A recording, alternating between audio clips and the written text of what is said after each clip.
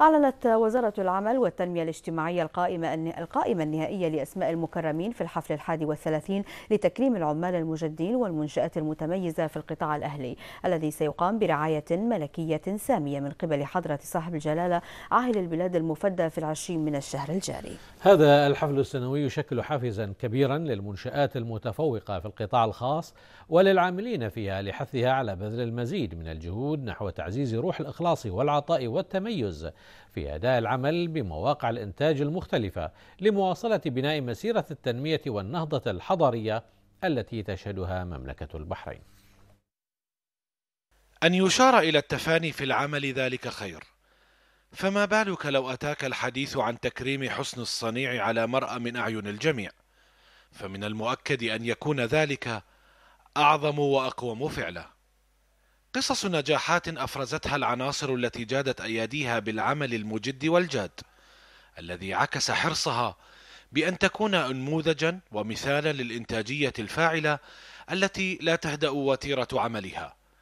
قوة الفكرة التي استندت على قدسية المبدأ تتمحور حول تكريم المتفوقين من العمالة الوطنية ممن برزوا عبر نوافذ منشآت القطاع الأهلي. خطوة من شأنها شحذ الهمم في نفس اللاعب الأبرز الذي تستند على قدراته العملية التنموية. وزارة العمل الله الحمد انتهت من مخاطبة أكثر من ألف من 1500 منشأة في القطاع الخاص. حصلنا على أكثر من 600 من الردود 600 من الردود قامت اللجنة بفرزها للحصول على ما هو 100 عامل من العمال المجدين وأكثر من 13 من الإداريين المتميزين.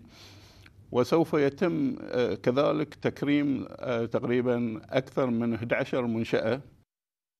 حفل الاحتفاء بما يقدم عليه عمال الوطن المتواجدين بمختلف مواقع الإنتاج من إخلاص ملحوظ لمسيرة حياتهم العملية. ما هو إلا طريقة مثلى يراد من خلالها رد الجميل بالجميل وأكثر. مجرد العامل ينال شرف التكريم تحت رعاية سيدي جلالة الملك هذه أكبر يعني إنجاز وأكبر حافز له. وأنا أعتقد أن هذه يعني الفعاليات أصبحت يعني العمال يتسابقون لنال شرف التكريم فيها. آلية ممنهجة ومحددة كانت قد اتبعتها اللجنة المعنية بانتقاء العمال المتفوقين ليكونوا ضمن الطاقات الوطنية التي تشغل الصفوف الأولى في التكريم. منها سنين الخدمة منها التدريب اللي حصل عليه العامل اجتيازه وحصوله على شهادات تقديرية كذلك ملفه يكون نظيف من الحوادث علاقته بالزملاء في العمل آه، الشهادات اللي نال لها يعني هذه دائما معايير أمام اللجنة وما تحيد عنها ولا فيها محاباة. لن يقف دوران عجله التنمية ما دام النشاط الذي يسكن محركها في ازدياد وفي تصاعد دائم. فبروز النتائج الإيجابية على مؤشرات النهوض الاقتصادي. ما هو إلا دليل قاطع على صحة الجسد الذي يعطي. في ساحة التحفيز ينشط الإبداع.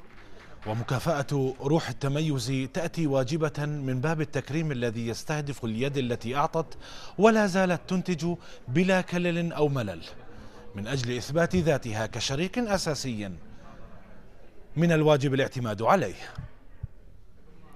لتلفزيون البحرين محمد رشيدات.